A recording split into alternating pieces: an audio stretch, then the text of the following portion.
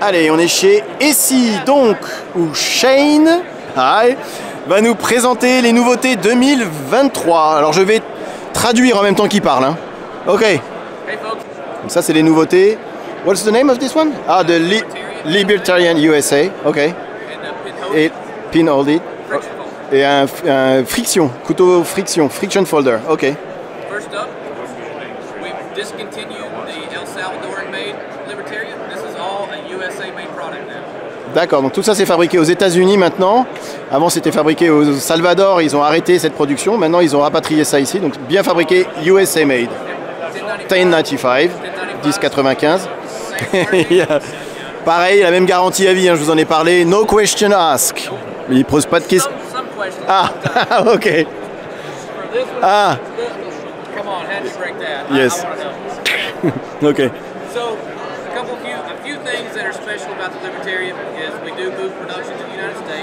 Donc ça c'est fait aux États-Unis. Il y a un trou maintenant dans la lame. What is it for the hole? To hang, to hang pour le pendre. Ah, d'accord. Et on peut s'en servir pour tirer aussi. D'accord.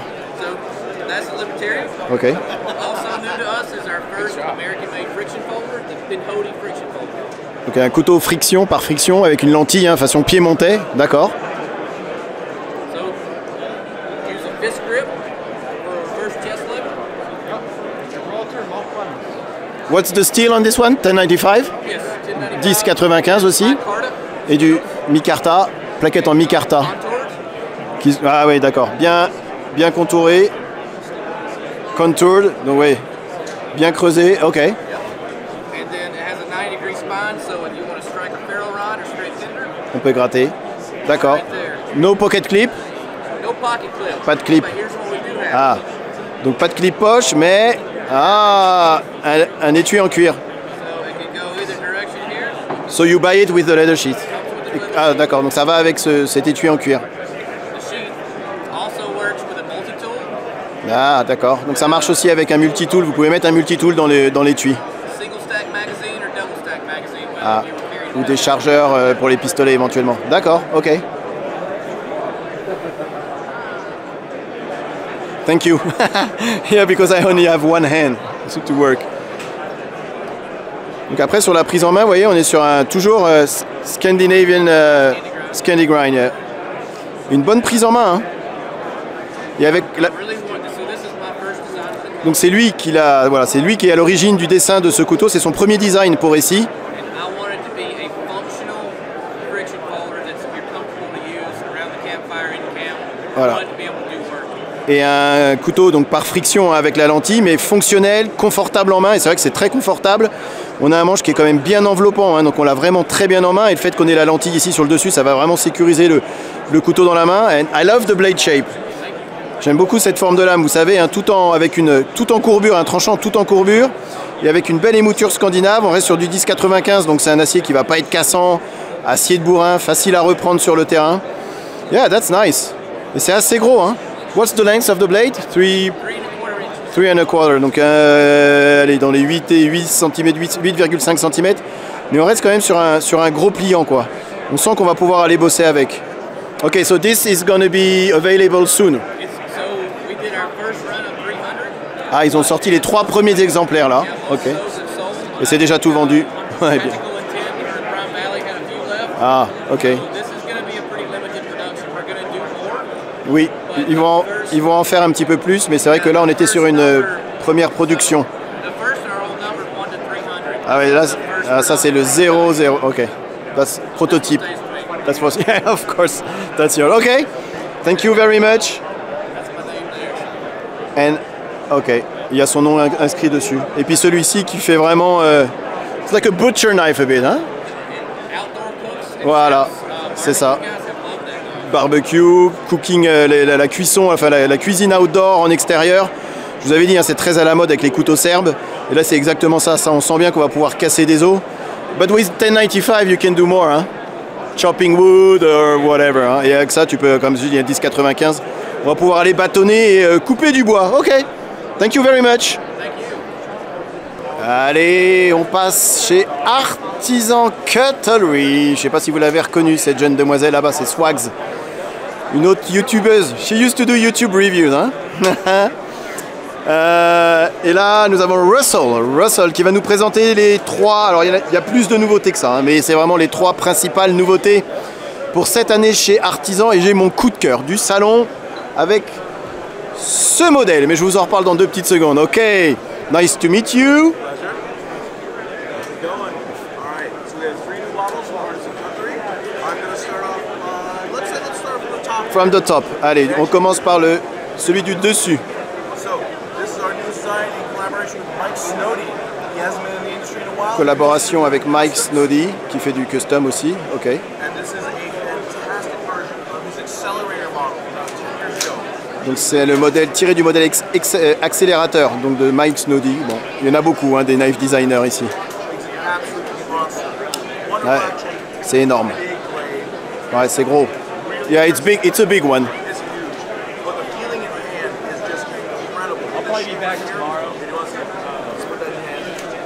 Ah ok. Ouais, donc on a une, une super prise en main avec le, ouais, tout de suite le petit doigt qui vient se caler derrière sur le manche et avec sur le dessus. Et là, ouais, on sent que yeah, it's a big knife.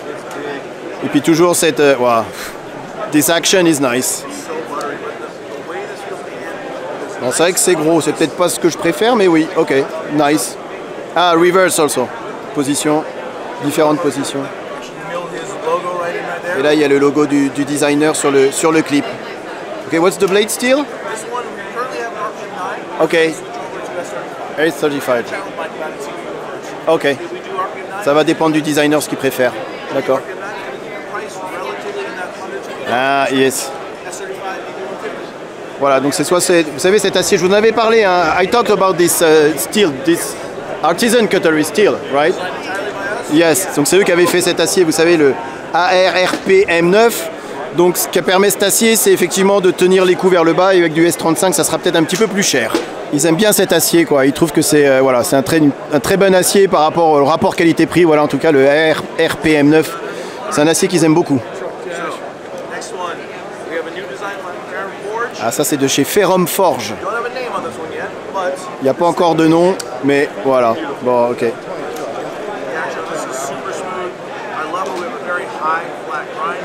on a une belle émouture plate, finger choil comme d'habitude. Ici c'est titanium?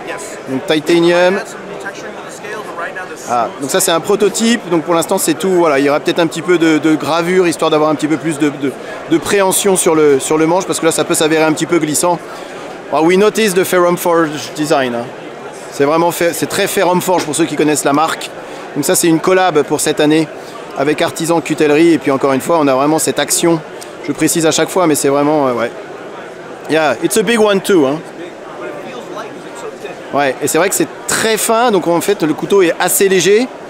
Euh, voilà, donc grand couteau, assez léger, toujours un moyen, c'est un petit peu, un petit peu tactique quand même. Par contre le dernier, the last one is my favorite. Ah, celui-là, Satyr, d'accord.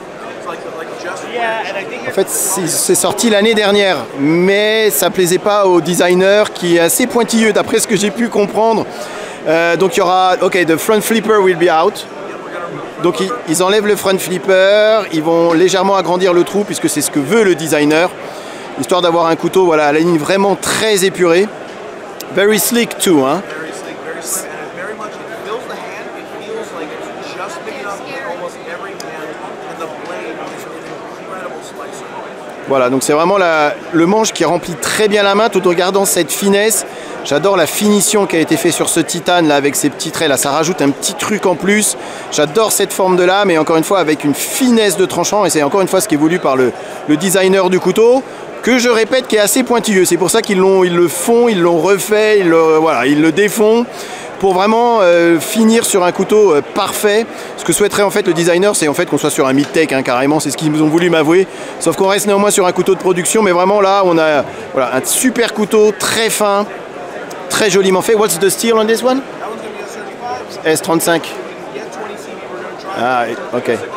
On va dire S35, peut-être du 20 CV, mais c'est pas encore gagné. En tout cas, avec du, du S35 et ça reste, regardez-moi cette action encore. Voilà, c'est juste magnifique. Et on passe chez CJRB. Puisque vous le savez, c'est la même maison que Artisan Cutlery. Donc quelques nouveautés chez CJRB. Russell. Il est toujours là. Allez, ok, let's go. Ah, ça j'aime bien. Design Ray Laconico, on connaît. Ouais.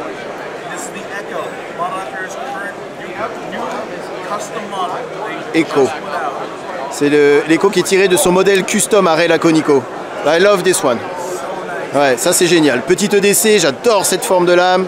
Little Ship's Foot Blade.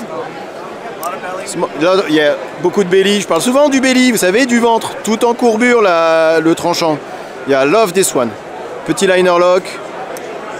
Ball bearing. mi- oui, ouais. Micarta. Il existe aussi en. Voilà, vous avez du G10, du bleu, du jade. Ouais, super. This one, ok. Une version un petit peu différente. Ok, ouais. Donc en acier.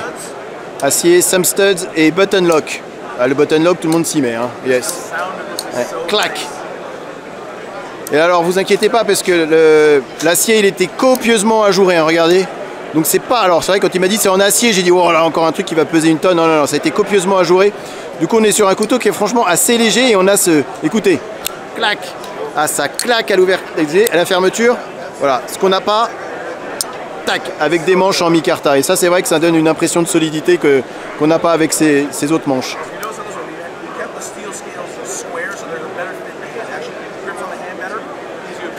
Un peu plus carré hein, que, que celui-ci. Ah, et donc là, c'est ouais, pour avoir une bonne prise en main. And it's very easy to do great. So if someone wants to customize it, Et on peut le customiser en faisant des petites, euh, des petites gravures sur le manche si vous voulez. C'est pour ça qu'ils l'ont laissé comme ça, euh, neutre, on va dire. Ok. Ah, il adore celui-ci. Fait, il adore. ok. Le riff, c'est plus gros, plus robuste. Ah oui, avec des, gros, des grosses platines en acier inoxydable. Vous voyez la taille des platines là, donc ça c'est du, du costaud, c'est du robuste. This one has a little bit of a copper insert on it. Like C'est harder. En-.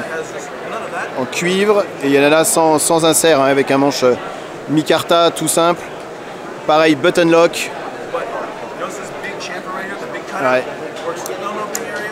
Et là, vous avez cette, ouais, pareil, voilà, et cette découpe ici qui sert à fois d'onglet. hein, vous pouvez l'ouvrir à deux mains, à une main, en faisant le, le flic par l'arrière comme ça, si j'y arrive. Tac, voilà, ok. Ça j'aime bien. Ok, ils on n'ont pas encore de nom, hein, c'est tout nouveau, hein, c'est 2023. This one is very much meant to be a tactical. Euh, pliant tactique. So beautiful, simple clip point blade. Voilà. Forme de lame clip point, ouais, pas mal de place hein, sur, la, sur le manche. Very comfortable hand. Flipper, thumb stud. Flipper, some stud, c'est la mode, un bretelle ceinture. Voir, voir comme c'est, on est sur un button lock. Voilà, je vous ai présenté le petit Elementum, hein, vous voyez Ça descend tout seul et c'est vraiment... Voilà, il n'y a rien qui retient la... Y a rien qui retient la lame, mais c'est vrai que j'aime bien dans l'ambiance un peu... Voilà, euh, un peu tactique, un peu EDC, still very slim, hein. Assez fin hein, quand même, voilà. Slim, donc c'est fin, c'est léger, avec une belle, une belle longueur de lame, et puis cette forme de lame un peu clip point qui fait certes un peu plus tactique que d'autres formes de lame, mais regardez, c'est moi cette efficacité. Wow. It works very nice. Ah, ok. Donc après, ils vont voter sur une des deux versions. Ça, c'est une autre version avec un style, donc ça, c'est de l'acier, mais qui a été tout à- totalement ajouré. C'est vrai qu'on voyait plus trop cette, euh, ces manches comme ça. It's a bit renew. It's, uh, Full ouais. Ah, voilà. Et là, ils ont du. Vous avez, vous avez cette, cette, euh, encoche finger choil. Eux, ils aiment bien. Moi, j'aime moins quand même. Lots Ça reste assez fin hein, malgré tout, et le fait que ce soit sur des plaquettes en acier, mais qui ont été ajourées, c'est pas si lourd que ça. Et c'est vrai que ça change un petit peu des autres manches. Certes, c'est un petit peu plus glissant que des manches en micarta. Mais voilà, donc euh, avec cette petite encoche, et en lieu et place du flipper ici, donc vous avez toujours les Samstud. Et ce finger choil et cette action avec ce button lock. Bon, le button lock, hein, ça fonctionne franchement à merveille. What's the steel on those blades? All these are going to be RPM now. RPM9, donc toujours cet acier, euh, cet acier euh, confectionné par CJRB, par Artisan Cutellerie, qui est un très bon acier finalement, un très bon compromis et qui permet d'avoir des couteaux qui coûtent pas trop cher. Ok, thank you very much. Bah, je vous cacherai pas que des fois on est un peu paumé, hein. Alors, où est-ce qu'ils sont? Bon là il y a des couteaux. Voilà. Au détour d'un carrefour, on tombe sur une marque de couteaux B Mary Alaskan Made. Alors là on est sur du tradi. Hein. Alors malheureusement hein, je reste pas une semaine. De toute façon le salon c'est que sur 4 jours. Je peux pas tout, tout vous montrer. Mais voilà, c'est pas vraiment ce que je cherchais, mais bon, ça a l'air, euh, sympa. Hein. On passe chez Genzo avec ces deux ravissantes demoiselles. Euh, donc, trois marques chez Genzo. Il y a Firebird, que vous connaissez très certainement avec le modèle le plus populaire chez Firebird, c'est sans doute celui-ci. Alors par contre, ils ont toujours des chiffres. Hein. Euh, chez Firebird, donc ici je le lis, le FH31B. Et c'est vrai que rapport qualité-prix, Genzo, ça a toujours été dans le top des marques. Et là, ça déroge pas à la règle. Donc ça, c'est Firebird, des modèles que vous avez euh, déjà sans doute entreperçus sur d'autres chaînes ou sur des sites de vente. Là, d'autres modèles Firebird. Il y a une troisième marque que je ne connaissais pas, c'est la marque Adimanti. Donc c'est ces modèles-là, ici avec un couteau façon, euh, façon dague, qui a été créé par un russe, que voici. Euh, Brutalika, c'est son surnom sur les, réseaux sociaux, donc c'est lui qui est à l'origine de ce couteau. Façon dague, avec euh, voilà, forme de lame un petit peu symétrique, puis une belle garde ici, ça marche vraiment super bien, avec un flipper genre des deux côtés comme ça, mais avec celui-ci qui permet d'ouvrir le couteau. Je trouve ça, voilà, pour tous ceux qui sont amoureux des dagues, je trouve que voilà, c'est très original et encore une fois, la grosse force de, de Adimenti comme de Genzo comme de Firebird, c'est le tarif qui est hyper bien placé. Celui-là, je le trouve super joli. Bon, encore une fois, hein, c'est les designs les plus simples que je préfère, mais ça marche vraiment super bien et c'est des couteaux, encore une fois, hein, on doit être à une, même pas 40 euros sur celui-ci. Je passe, donc là du Firebird, et là des couteaux, des couteaux droits. Alors ceux-là, je les avais déjà reçus de la part de Genzo, donc je vous les montrerai très prochainement. On est sur un, bon grosso modo ça ressemble à du Mora. Je vous avais fait quelques photos sur Instagram de ce modèle-ci. Là on a un couteau de survie également, façon un peu Bear Grylls hein, quand même, avec le petit Fire Steel glissé dans le, manche du couteau, ici avec un petit, euh, une petite arête à 90 pour justement gratter le fire steel et puis différents types d'attaches au niveau du manche, un petit pommeau pour casser des noix. Donc ça voilà, si vous êtes dans le, couteau de survie ultime, si vous aimez Bear Grylls, bah, vous avez chez Genzo en tout cas la possibilité de vous faire plaisir pour bien moins cher. Je vous montre les trois marques, Firebird ici, hop, si elle veut bien me faire le focus, Firebird, Genzo et Adi Menti. Thank you Genzo. Bye bye. On passe chez Concept avec Marshall, qui est le représentant de Concept ici à Vegas, qui est aussi un coutelier, knife designer, donc un dessinateur, designer de couteaux, qui travaillait avant, je vous rappelle, hein, la petite histoire chez Concept, c'est qu'ils ont fait scission avec Kaiser. Donc ce monsieur, il a fait des designs. You designed for Kaiser before, right? Yes, the Vindicator. The Vindicator. Le Vindicateur, c'est monsieur Marshall qui l'avait dessiné. Donc aujourd'hui, il est passé comme beaucoup chez Concept. Et c'est lui qui est à l'origine du Gobelin, donc de ce petit modèle-ci, que Concept a voulu agrandir, mais à l'origine c'était vraiment sa volonté, c'était de le faire tout petit, façon un petit peu griffe. Voilà, c'est ce qu'il m'a raconté. Je vous avais, euh, vous avez déjà vu sur Instagram le bulldozer, ceci vous l'avez déjà vu. Il y a quelques nouveautés néanmoins chez Kaiser en 2023, dont celui-ci, que j'aime beaucoup. Alors c'est pratique puisque le nom est marqué dessus. Donc là c'est le Anomaly, donc un petit frame lock titane, lame, euh, alors pas lame drop point, on dirait qu'on a une lame qui remonte légèrement. Et après chez Concept, hein, la qualité, encore une fois, n'est plus approuvée. Donc ça c'est nouveau. Ça c'est une autre également petite nouveauté. Celui-ci c'est le AGL. Bon après vous avez toujours, hein, ils font pas mal de collaborations chez, euh, Concept. Là d'autres euh, nouveautés ici avec la particularité d'avoir un, un décapsuleur sur le dos de la lame. Celui-ci j'aime beaucoup. Alors le modèle c'est le Turaco, Turaco, euh, frame lock, titane, super joli, super fin, inoffensif, tout en rondeur, avec un, front flipper hyper bien placé, ça claque et on arrive à l'ouvrir à tous les coups.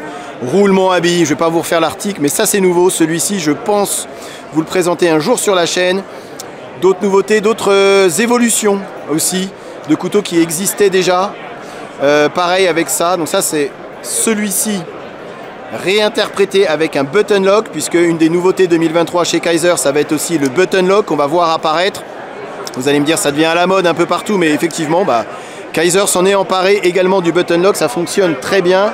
On le retrouve ici sur ce modèle, un peu plus premium hein, que le, le modèle que je viens de vous montrer. Toujours avec le button lock, Michael Willemsen au niveau du design. Et regardez-moi, voilà, on a la lame qui retombe toute seule. C'est juste génial à utiliser. Le petit accipiteur que vous avez déjà vu sur la chaîne. Je repars à gauche avec deux, trois autres nouveautés. Alors des designs un peu, je vais pas dire clivants, mais un peu différents de ce qu'on a pu voir précédemment sur les autres stands. Et ça fait pas de mal, des choses peut-être un petit peu moins banales, qui sortent un petit peu de l'ordinaire. Ceux-là, je vous les ai déjà présentés, là, le tout petit, là, le corps vide. Il y avait le petit, le moyen et le grand. Ici, façon euh, petite griffe, euh, ouverture de boîte. Ça, c'est magnifique, c'est super sympa, c'est tout petit, ça disparaît dans la poche. Avec un sum disc, et ça, pour ouvrir des boîtes, façon un peu euh, tantôt, euh, petite griffe pareil que vous avez dans la main. Le prêt-à-tout design Kamax Rom également. Et puis des couteaux un peu plus badass. Voilà, donc ça c'était le stand concept avec pas mal de nouveautés hein, quand même dans les tuyaux. Thank you Marshall for the presentation. Présentation, comparaison avec d'autres modèles et test de coupe en fin de vidéo comme d'habitude. Ok, allez, voyons voir ce que ça donne. Rasoir. Encore une fois, les goûts et les couleurs. C'est simple et efficace. Je suis faible, j'achète. Euh, Il n'y en aura pas pour tout le monde.